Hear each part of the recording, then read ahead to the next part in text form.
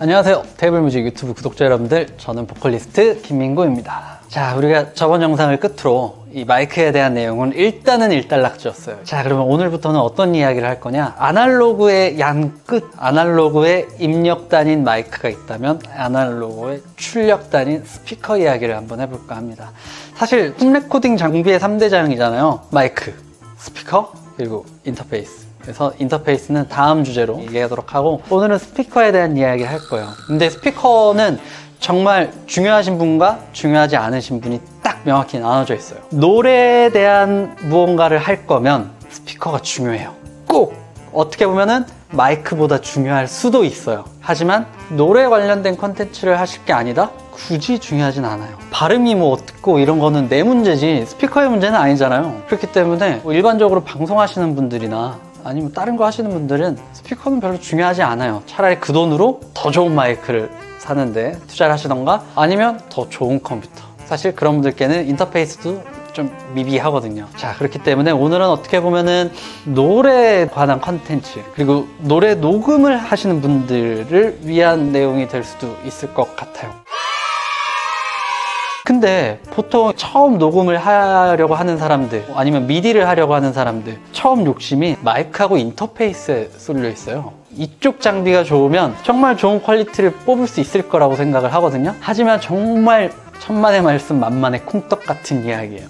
스피커가 제일 중요해요 아프시 자 왜냐하면 오늘은 그 왜냐하면을 알려드리려고 합니다. 스피커가 왜 중요한지 왜 노래하는 사람들 노래 만드는 사람들이 마이크와 인터페이스보다 좋은 스피커를 써야 하는지 우리가 서로가 다 각기 다른 개인이잖아요 다. 서로가 다른 취향이라는 걸 갖고 있어요. 이 서로 다른 취향 속에서 무언가의 교집합이 있을 거 아니에요? 이거를 빵 하고 터트려 주는 게 인기라고 보시면 돼요. 아 저 노래 좋다 이런 거라고 보시면 돼요. 그러니까 우리가 생각할 거는 나에 대한 취향이 아니라 내가 듣기 좋은 게 아니라 보편적으로 좋게 들리게끔 만들어줘야 하는 거예요. 물론 개인적으로 혼자 녹음할 거야. 뭐 이러신 분들 그 취향 살리셔서 취향껏 고르시면 되지만 우리가 보통 녹음을 해서 무언가 컨텐츠를 만든다는 거는 누군가에게 들려주기 위함이잖아요. 근데 원 포인트 원 포인트 다 다르게 들려주는 게 아니라 난 하나를 던지고 자 한번 들어보세요. 좋은가 나쁜가 이거란 말이에요. 그러면은 보편적으로 좋은 거를 생각을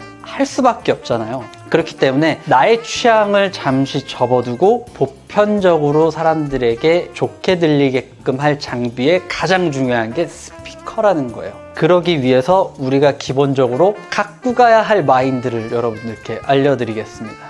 축구를 생각하시면 좋을 것 같아요. 우리가 축구에서 제일 중요한 게 뭘까요? 뛰어난 스타 플레이어, 체력, 조직력, 좋은 감독, 여러 가지가 있지만 가장 중요한 건 일단 안 지는 거예요. 지지 않는 상태에서 내가 추가적인 득점을 해 나가면서 승리로 만드는 거잖아요. 제일 어이없는 게 그거잖아요. 자살골, 자책골. 녹음이나 음악을 만드는 이 활동 안에서 자책골이 없어야 돼요. 자책골. 근데 이 과정이 사실 진짜 고돼요. 여러분들도 보셔서 알잖아요. 축구하는데 수비수들 진짜 겁나게 뛰어다니고 막 맨날 찢어지고 다치고 근데 그 사람들이 골 넣으려고 그런 거예요. 골 먹지 않기 위해서 그렇게 노력하는 거잖아요. 이쪽도 똑같아요. 무언가 하나 딱 실점한 게 다른 사람들에게 실수처럼 여겨지는 순간 아무리 좋은 거 백날 해봐야 이게 그 값을 못 받아요. 그렇기 때문에 지지 않기 위한 게 필요하거든요. 그걸 위해서 네, 이 스피커가 중요하다는 말을 계속 하고 있는 겁니다.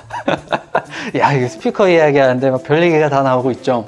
자, 그만큼 중요해서 그래요. 그만큼. 자, 그러면 이 스피커가 실점을 하지 않기 위해서 가장 갖고 있어야 될 덕목이 있어요. 우리가 저번 시간에 엔트리급, 그리고 프로급, 그리고 하이엔드 이 세 가지를 이야기했는데 저는 감히 이야기를 할게요. 아무리 음악 컨텐츠 그 어떤 컨텐츠 어떤 등급 어떤 티어의 컨텐츠를 만들던 간에 음악을 만드는 녹음을 해서 결과물로 만드는 이런 과정에 있는 사람이라면 스피커는 프로를 써야 돼요 엔트리 솔직히 하이엔드 쓸 거였으면 이미 모든 장비를 다 구매할 그런 능력이 있을 거니까 뭐 하이엔드는 뭐 그래서 제치고 프로는 써야 돼요 왜 프로를 써야 하냐면 가장 플랫하고 가장 해상도가 좋아요.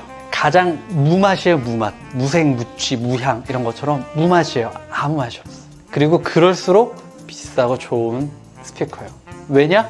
실점을 하지 않을 거니까 가장 무난해야지. 누군가가 우와 좋아하진 않더라도 누군가가 에이 할 만한 그런 성향은 없는 거예요. 그리고 요즘은 특히나 핸드폰이나 아니면은 일반 플레이어 같은 데서 셀프 EQing이 가능하잖아요. 이퀄라이저를 셀프로 맞출 수가 있잖아요. 어느 정도. 멜론 보니까 10밴드까지 있더만요. 저는 그냥 다 플랫으로 놓고 듣긴 하는데 다 취향껏 어느 정도의 이퀄라이저 세팅을 할 수 있단 말이에요. 그렇기 때문에 처음부터 난 힙합을 할 거니까 좀 저음역대가 좀 셌으면 좋겠어. 그 내가 듣기에 충족할 만큼 저음을 이만큼 때려 넣었어. 그럼 누군가는 듣고 어머나 세상에 한단 말이에요. 우와 이거 뭐냐? 어우 귀 아파. 이러한 일이 생긴단 말이에요. 그렇기 때문에 가장 플랫한 게 좋아요. 뭐가 플랫하냐면요. 저음역대부터 고음역대까지. 인간의 가청 주파수 대역이 가장 편차 없이 고르게 나오는 스피커가 좋은 스피커예요. 음악 작업을 할 기본이 되어 있다. 이건 거예요. 물론 정말 정확하게 쫙 이거는 힘들어요. 그래서 그거를 보완하고 개선하기 위해서 지금까지도 계속 음향 업체들이 엄청난 투자와 개발을 하고 있는 상황이고 그거에 대한 편차가 조금씩 조금씩 줄어들고 있는 와중이에요. 인간의 가청 주파수 내역대의 저음부터 고음역대까지 플랫한 게 좋다. 이렇게 막 V자를 형성한다거나 이런 거 좋지 않다라는 말씀을 드리고 자 두 번째 음 위상이 정확한 거. 음 위상이 뭐냐? 내가 스피커를 들었을 때 양쪽에 스피커를 두고 목소리가 가운데에 정확히 맺힐 수 있느냐예요.